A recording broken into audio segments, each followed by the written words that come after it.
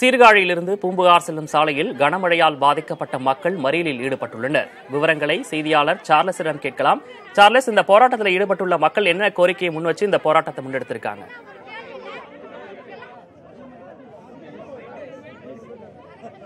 விக்னேஷ் நாம இப்போ எனக்கு பின்புறம் எனக்கு அந்த ப காட்சிகளை பார்க்கலாம். ஒளிப்பதிவாளர் சசிகுமார் காண்பித்துக் கொண்டிருக்கிறார். இது வந்து சீர்காழியிலிருந்து பூம்புகார் செல்லக்கூடிய இந்த பகுதியில் மணி கிராமம் என்ற பகுதி. கிட்டத்தட்ட இரநூறு வீடுகள் இருக்குது இந்த இரநூறு வீடுகளுக்கு செல்லக்கூடிய பாதைகள் என்பதே வந்து முழுவதுமாக தடைபட்டு விட்டது. நேற்றிலிருந்து இவர்கள் யாரும் வந்து வெளியே வரக்கூடிய முடியாத நிலை.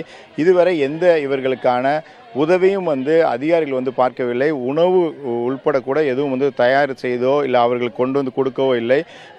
புத்தக பைகள் அதாவது பள்ளி மாணவருடைய புத்தக பைகள் கூட நனைந்து விட்டது. அதை கொண்டு வந்து சாலையில் வைத்து பொதுமக்கள் தற்பொழுது மரங்களை வந்து சாலையில் வெட்டி போட்டு தங்களுடைய போராட்டத்தை வந்து தொடர்ந்து வெளிப்படுத்தி வராங்க. அந்த காட்சிகளை இப்போ தற்போது பார்த்து கொண்டிருக்கிறோம். ஒரு மணி நேரமாக இந்த போராட்டம் என்பது நடைபெற்று கொண்டிருக்கிறது. தற்பொழுது பிடிஓ அவர்கள் வந்து பேச்சுவார்த்தை நடைபெற்றிருக்காங்க. இந்த நிலையில் வந்து தொடர்ந்து வந்து அவர்களுடைய இந்த பேச்சுவார்த்தை முக்கியமாக இந்த பகுதிக்கு தங்களுக்கு உடனடியாக உதவிகளை செய்து தர வேண்டும். அப்போதுதான் இந்த போராட்டம் கைவிடப்படும் என பொதுமக்கள் தெரிவித்திருக்காங்க. மரங்களை வந்து சாலையில் வெட்டி போட்டுள்ளதால் ஒரு மணி நேரமாக இந்த நீங்கள் கூட இந்த காட்சிகளை பார்க்கலாம். புத்தகங்கள் அனைத்துமே வந்து நனைந்து விட்டது.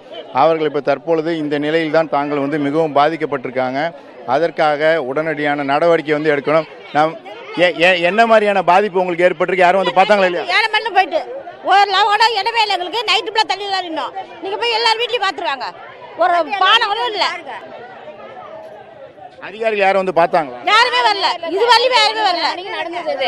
நைட்டு ஒன்பதரை மணிக்கு நடந்தது சார் எதிர்பாராத விதமா அரை மணி நேரத்துல ஃபுல்லா தண்ணி வந்துச்சு இடுப்பு அளவுக்கு. குழந்தைங்க இருக்காங்க. எவ்வளவு தேளு பாம்பு. எங்களுக்கு வந்து நீங்க நிவாரணம் கொடுக்கறது பெரிய விஷயமே கிடையாது. ஆனா மக்கள் எப்படி பாதிக்கப்பட்டாங்க என்னன்னு யாருன்னா வந்து பாத்தீங்களா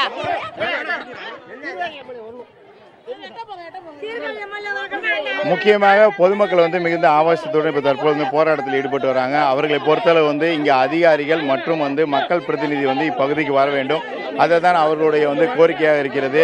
இவர்களுக்கு வந்து பெண்கள் வந்து மிகவும் பாதிக்கப்பட்டிருக்காங்க. ஏனென்றால் சிறு குழந்தைகளை வைத்து அவர்களுக்கு குடிநீர் மற்றும் அத்தியாவசிய பொருட்களை கூட கிடைக்க முடியாத நிலையில் இந்த போராட்டம் என்பது நடைபெற்று கொண்டிருக்கு. காவல்துறையினர் வந்து தொடர்ந்து வந்து பேச்சுவார்த்தை நடத்தி வராங்க. பேச்சுவார்த்தையில் வந்து இதுவரைக்கும் உடன்பாடும் ஏற்படவில்லை விக்னேஷ். களத்திலிருந்து விவரங்களை பதிவு செய்தமைக்காக நன்றி சார்லஸ்.